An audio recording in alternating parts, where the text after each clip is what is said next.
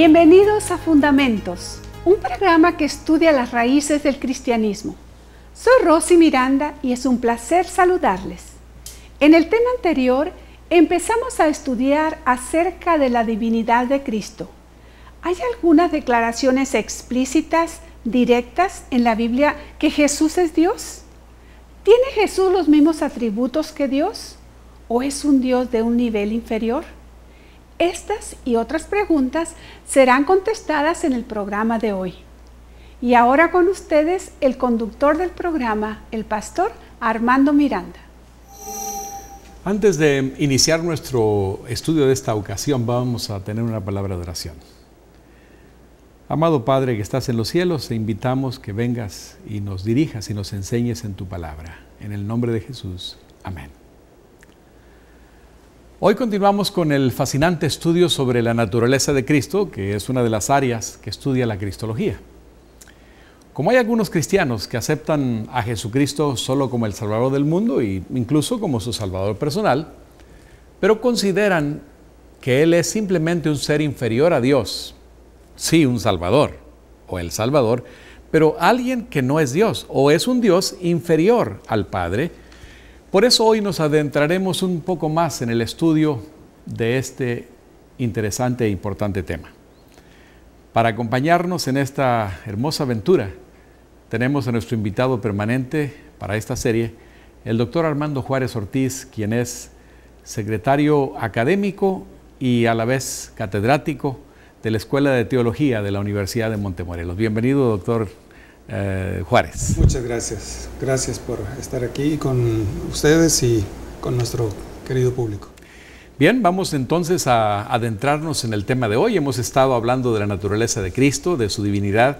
En el tema anterior establecimos que en el Antiguo Testamento se habla de la existencia o preexistencia de Jesús, de su divinidad, pero hoy vamos a enfocarnos básicamente al Nuevo Testamento, aunque tocaremos posiblemente alguno de los Tenemos textos que del Antiguo. Tenemos que conectarlo. Obviamente, sí. Eh, es bueno empezar hablando acerca de algunos textos explícitos en donde se habla de la divinidad de Cristo, algunas declaraciones de su divinidad. Esto es muy importante para nosotros como cristianos. Claro, porque si no reconocemos a Jesús en su plena divinidad y lo ponemos a un nivel inferior al Padre, pues entonces eh, no le estamos dando el lugar que le corresponde. Ahora, por el lado contrario, si le estamos dando a Jesús una posición más allá de la que Él tiene, como algunos argumentan, entonces corremos el peligro de estar adorando a un Dios que no es el verdadero Dios. Así es.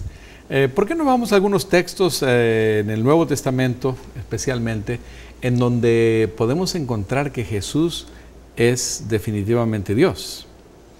Bueno, hay bastantes pasajes. Eh, yo creo que tendríamos que circunscribirnos debido al, al corto tiempo. Así es. algunos que son claves eh, y que nos hablan claramente acerca de la divinidad de Cristo. Por ejemplo, Eh, tenemos el, el clásico, el primero que normalmente surge a la mente es el de Juan, el Evangelio de Juan capítulo 1, versículo 1, donde dice, en el principio era el verbo y el verbo era con Dios y el verbo era, Era Dios. Dios. Ahí claramente está eh, diciendo de que ese verbo que existía desde el principio con Dios es Dios. y está hablando de Cristo, porque en el verso 14, El verbo dice se hizo carne y habitó entre nosotros. Exactamente. exacto, enfoca o identifica a ese verbo o a la palabra, el logos, que inclusive nos, nos lleva hacia atrás con esa expresión en el principio, al mismo origen de nuestra tierra. En el principio creó Dios los cielos y la tierra. Bueno, este, en realidad eh, la palabra al principio, arge en griego, eh, no tiene relación directa con Génesis 1.1. Tiene relación directa, o mejor dicho, eh, como es un verbo eh, en forma, en, en un este, tiempo este, imperfecto, Perfecto. eh, está hablando de una eternidad que no se sabe. Porque eh, en el principio, simplemente. Simplemente en un principio más allá del principio de nuestro mundo y de incluso del universo. Aunque en realidad también en el, en el Antiguo Testamento el Génesis habla del principio. Ahora, ¿cuándo fue ese principio? Ese es el problema. Pero tenemos otros, otros, uh, otros textos muy, muy interesantes y claros. Por ejemplo, ¿qué nos dices de 1.18 de San Juan? Bueno, allí ese es un pasaje muy interesante, aunque en muchas Biblias no se traduce de esta forma en algunos manuscritos griegos que eh, últimamente se ha demostrado de que son muy confiables, dice lo siguiente, y es una este, versión, la nueva versión internacional lo menciona, la versión Reina Valera no. Dice, a Dios nadie le ha visto nunca. El Hijo unigénito, que es Dios, que vive en unión íntima con el Padre, nos lo ha dado a conocer. Eh, utiliza una expresión en griego es monogenes theos, el Dios unigénito o el Dios único. Eh, entonces ahí no da vuelta, sino simplemente dice que Cristo es el Dios único. Por eso la traducción de la eh, nueva versión internacional, que es Dios. Que es Dios. El énfasis está bien hecho. Exactamente. Eh, en cuanto a Juan 20, 28, encontramos allí la manifestación o la expresión que uno de los discípulos tuvo para con Jesús, el llamado incrédulo Tomás.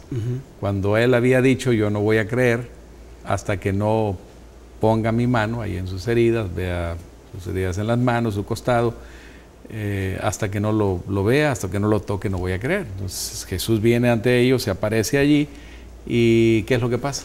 ¿Cuál es la expresión? La expresión es Señor mío y Dios mío. Utiliza dos términos que son exclusivos de Dios. Como ya lo mencionamos en otros programas, la palabra curios tiene que ver con el Adonai, del, Antiguo Adonai del, Antiguo Testamento y Dios mío, que Theos, que es otra palabra también para referirse a Dios. O sea que ahí eh, Tomás, al mirar a Jesús, simplemente tuvo que reconocer que era Dios. Vayamos ahora a San Pablo. San Pablo, por ejemplo, en Romanos 9:5 tiene una expresión también que es contundente en relación a la divinidad de Jesús. Sí, este, hablando precisamente de, del pueblo de Israel, dice que tuvo un privilegio que otros pueblos no tuvieron, porque dice de quienes son los patriarcas y de los cuales según la carne vino Cristo, el cual es Dios sobre todas las cosas. Qué tremendo, qué tremenda declaración, ¿no? Es Dios sobre todas las cosas. Y está hablando de, Jesús, del Mesías. De Jesús, porque está hablando, no está hablando del Padre ni del Espíritu Santo, está hablando de Él. Exactamente.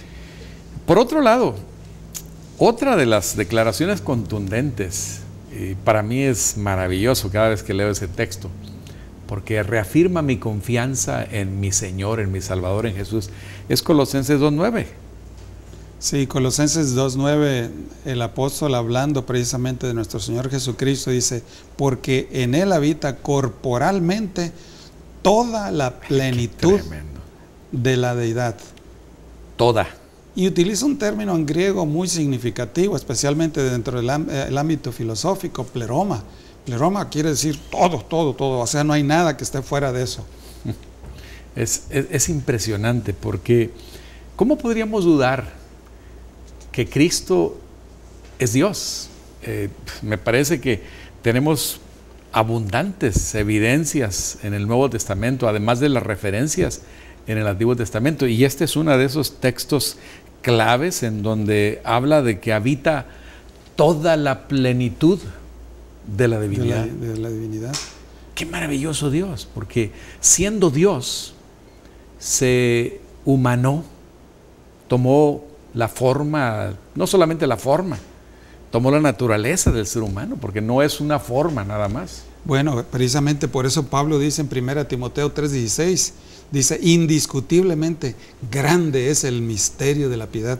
Dios fue manifestado en la carne. Y, pensar que Jesús, un ser humano, que uno lo ve caminar allí entre las calles y de Jerusalén o en, los caminos de Galilea, es decir, que ahí está Dios en toda su plenitud. Qué, qué interesante, amigos. ¿Cómo podemos dudar de el maravilloso Jesús que se hizo carne, habitó entre nosotros. No fue una forma, no fue algo ilusorio, no fue simplemente un ser humano, fue Dios en la carne, toda la plenitud de Dios en él. Dios caminó entre nosotros, hizo su tabernáculo, hizo su tienda, tomó nuestra carne, nuestra sangre. Es nuestro hermano, pero a la vez lo, lo más grande y maravilloso es que es Dios. Por eso es que su nombre fue Emanuel, Dios con nosotros. Ahora, siendo que Cristo es Dios, podemos encontrar los atributos de Dios en Él, porque alguien puede decir, bueno, sí, es Dios. O se dice que es Dios, pero vamos a ver si de veras tiene esos atributos o características divinas, ¿no? Exacto. Y, y algunos dicen esto, bueno, es Dios, sí, pero es un Dios inferior, eh, que recibió del Padre, recibió el poder para crear. Fue la primera criatura de Dios.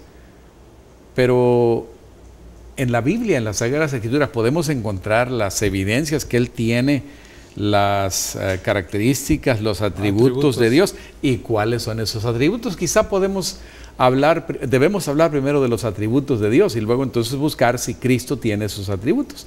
Vamos, vamos a, a hablar un poco de esto. Bueno, Dios tiene muchos atributos. Los teólogos lo hemos clasificado en atributos comunicables y no comunicables. Los comunicables, amor, piedad, bondad, todos esos atributos que puede comunicar. Pero para los que son exclusivos de Dios, son eh, omnisciencia, omnipresencia, eh, omnipotencia, eternidad, inmutabilidad. Esos son atributos que nadie tiene, solo Dios. Solamente Dios. Y vamos a ver, amigos, si esos atributos los encontramos también en Cristo Jesús. Por lo tanto, vamos a hacer una pausa ahora, pero no se vaya, quédese con nosotros, vamos a continuar. En nuestra universidad creamos oportunidades para que asumas la responsabilidad de documentar e interpretar tu propio aprendizaje. Oportunidades que te llevarán al análisis, la reflexión continua y la autoevaluación de tu proyecto educativo. Siempre serás orientado y un maestro te guiará en todo momento.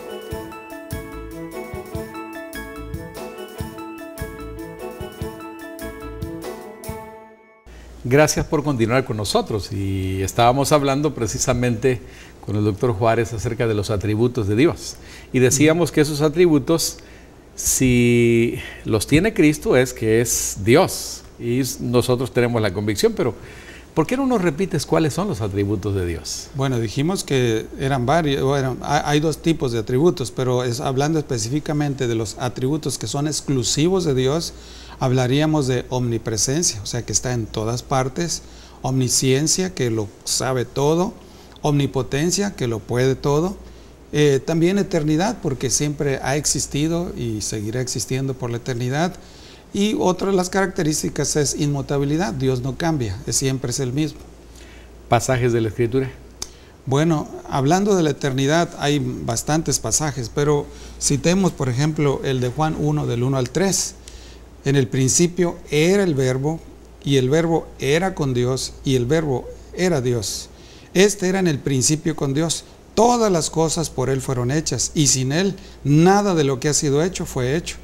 Aquí podemos ver, como ya lo mencionamos, el verbo que emplea el, apóstol Juan, que es un eh, verbo en tiempo imperfecto, el, el tiempo imperfecto en griego, describe un tipo de acción que no se sabe cuándo se inició ni se sabe cuándo se va a terminar.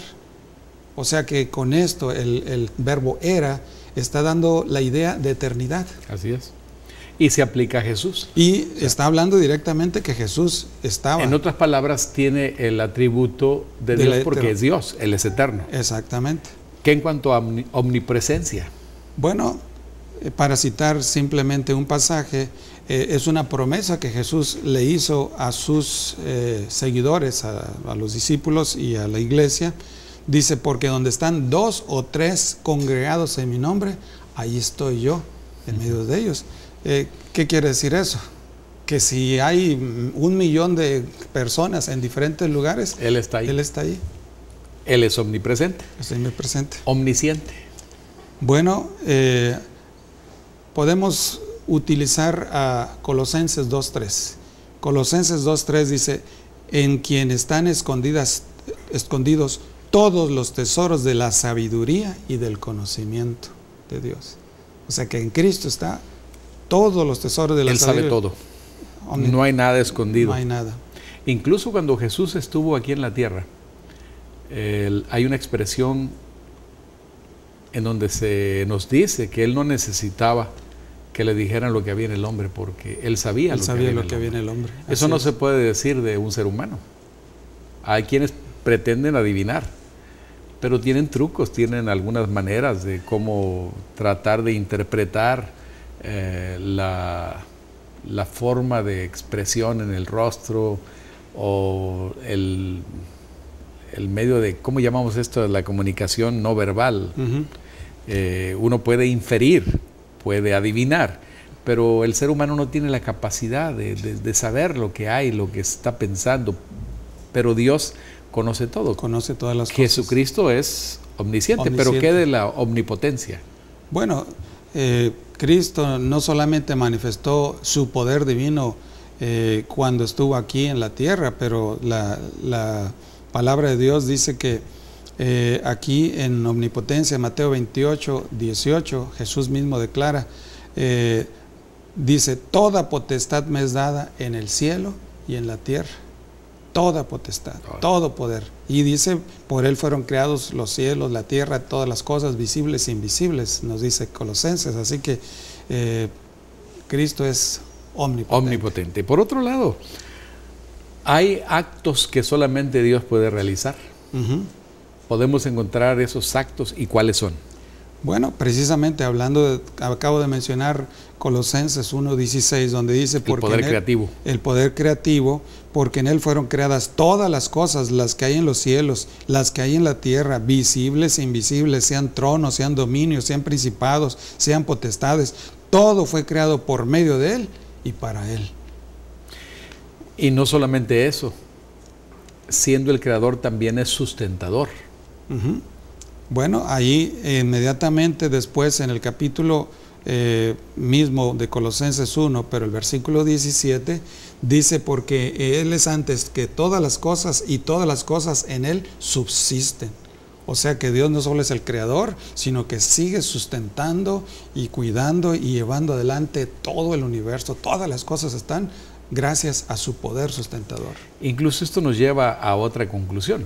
Esta tierra no fue creada por Dios y abandonada, como es la creencia de los deístas.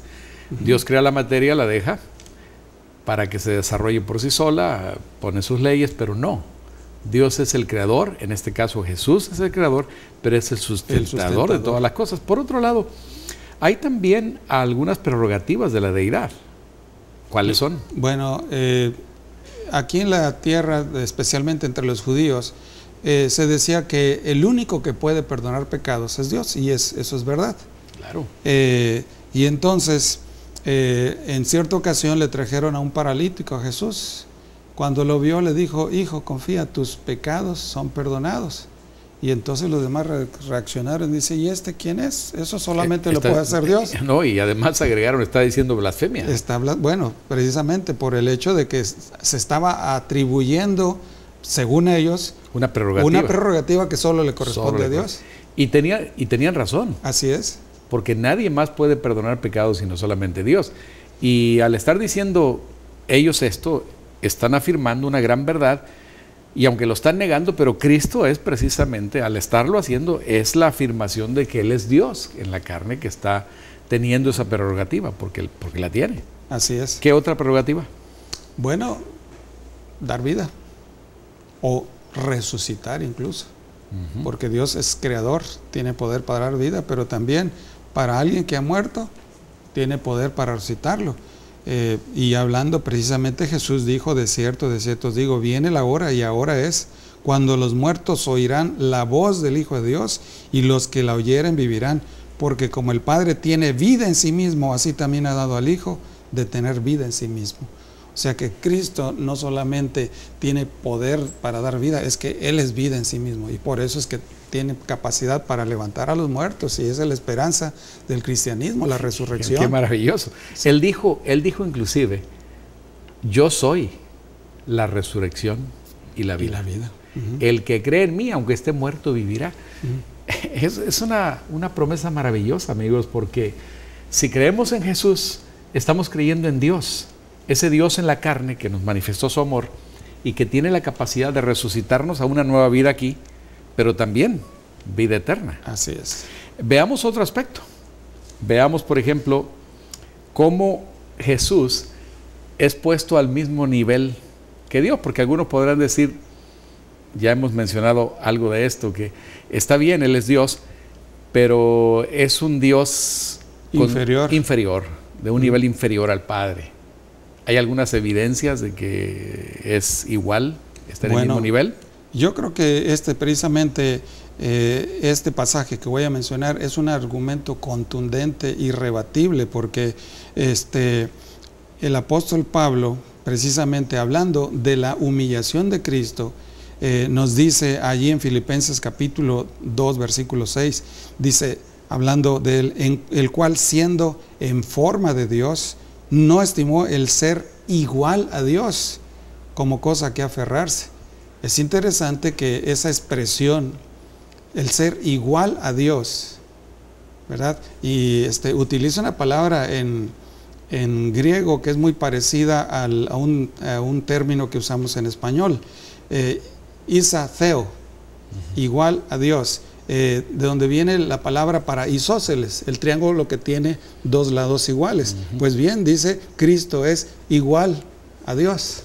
Aunque al principio dice siendo en forma de Dios. Bueno, eh, utiliza una palabra. Eh, algunos la interpretan de otra manera, como no es igual, es una forma. No, es parecido. Todo lo contrario. El, el, griego quiere decir exactamente lo contrario. Tiene la morfé de Dios. O sea, tiene la morfología, la, naturaleza, la esencia de Dios. O sea que son dos términos eh, contundentes. Tiene la forma de Dios, o sea, la naturaleza este, morfológica. En lugar de debilitarlo, lo afirma. lo afirma, correcto.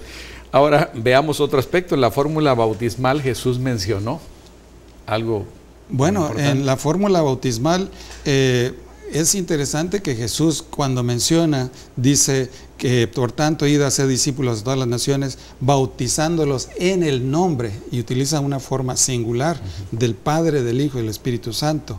O sea que al hablar en forma singular quiere decir que los tres tienen la misma posición. En el mismo nivel. Correcto. Ahora, la bendición apostólica. San Pablo utiliza una expresión que la, conocemos como la, bendición apostólica. Claro, allí igual, cuando uno bendice en el nombre de Dios se entiende de que este, está recibiendo lo mayor que puede recibir, pero aquí el apóstol está diciendo la gracia del Señor Jesucristo, el amor de Dios y la comunión del Espíritu sean con todos vosotros. O sea, ahí está poniendo a los tres como diciendo ellos le están dando su bendición. Así es. Ahora, Entremos a otro aspecto, el tiempo siempre nos gana, pero quisiéramos enfocarnos en un aspecto que es muy importante también, y eso tiene que ver con la adoración. Jesús mismo le dice a Satanás en el desierto de la tentación, eh, a tu Dios solo adorarás, o a Dios solamente adorarás. Los ángeles no admiten adoración, y está la experiencia de Juan queriendo adorar al ángel en Apocalipsis 22, 8 y 9. Pero encontramos a Cristo algunas manifestaciones en donde Él es adorado. ¿Cuáles son? Bueno, eh, precisamente eh, allí en, Juan 20, 28, cuando eh, el apóstol, como le dijimos, el incrédulo, ¿verdad? Respondió y le dijo, Señor mío y Dios mío, ¿verdad? allí, pero también hablando después de la resurrección, cuando se le aparece a varios discípulos, ¿verdad? Allí en Mateo 28, el 9 y el 17, dice aquí que Jesús le salió al encuentro diciendo, salve, y ellas, las mujeres, acercándose, abrazaron sus pies y le adoraron. Y en el versículo 17, y cuando lo vieron, lo adoraron, o sea, otro discípulo. O sea que allí, y utiliza una palabra que en, eh, algunos la quieren poner que le dieron reverencia. Tergiversar. Pero, tergiversar. Pero aquí en el griego, proscuneo significa arrodillarse y postrarse en señal de adoración Pues para Dios. Una, una adoración a Dios. Adoración divina. Y, y se le otorgó a Jesús y él lo admitió Exactamente. porque él es Dios. Ah, Hay un texto maravilloso que es Apocalipsis 5.8. Bueno, ¿Qué nos dice? eh, este, este texto, junto con, eh, realmente sería eh, toda esa sección donde primero en el, en el capítulo 4 de Apocalipsis se describe la adoración al Padre, pero después en el capítulo 5 gira en torno al Cordero, al Hijo de Dios, donde dice que en primer lugar, dice los 24 ancianos se postran y dice, y cuando hubo tomado el libro, los cuatro seres vivientes, los 24 ancianos se postraron delante del Cordero. Todos tenían arpas y copas de oro llenas de incienso, incienso que son las oraciones de los santos. Ahí tenemos a los cuatro seres vivientes y 24 ancianos postrándose ante él. Y luego después en el versículo eh, 11 al 13 dice, miré y oí la voz de muchos ángeles, eh, ángeles alrededor del trono y de los seres vivientes, de los ancianos, su número era millones de millones, que decían a gran voz, el cordero que fue inmolado es digno de tomar el poder, la riqueza, la sabiduría, las fortalezas, la honra, la gloria y la alabanza. Y todo lo creado que está en el cielo y sobre la tierra y debajo de la tierra y en el mar y a todas las cosas que están en ellos, eh, oí decir, al que está sentado en el trono y al cordero, sea la alabanza, la honra, la gloria y el poder por los siglos de los siglos. Qué maravilloso. Qué maravilloso mensaje, queridos amigos. En el estudio de hoy hemos visto, en primer lugar, que Jesucristo tiene nombres divinos, tiene atributos divinos, realiza actos que son únicos de la divinidad y se le llama directamente Dios. Se le pone al mismo nivel que Dios y recibe adoración como Dios. Ese es el Dios en quien nosotros creemos. Ese es el Dios maravilloso que vino para salvarnos. Y yo quisiera invitarte para que en esta ocasión, en esta hora, le rindas o le rindamos nuestro corazón, porque es un Dios amante, maravilloso, que vino, entregó su vida para que pudiésemos tener redención. Que Dios te bendiga al aceptarlo hoy. Espero que por la gracia de Dios usted haya sido bendecido e inspirado con el estudio de hoy. Al continuar su jornada por la vida, le invito a que haga de Jesucristo su fundamento, pues solo en Él podemos tener paz, seguridad y perdón. Recuerde que con Dios hoy es mejor que ayer y mañana será mejor que hoy. Si usted tiene algún comentario o pregunta en relación al tema de hoy, no dude en comunicarse con nosotros. La dirección es preguntas arroba fundamentosdelafe.tv. Que Dios le bendiga y le guarde.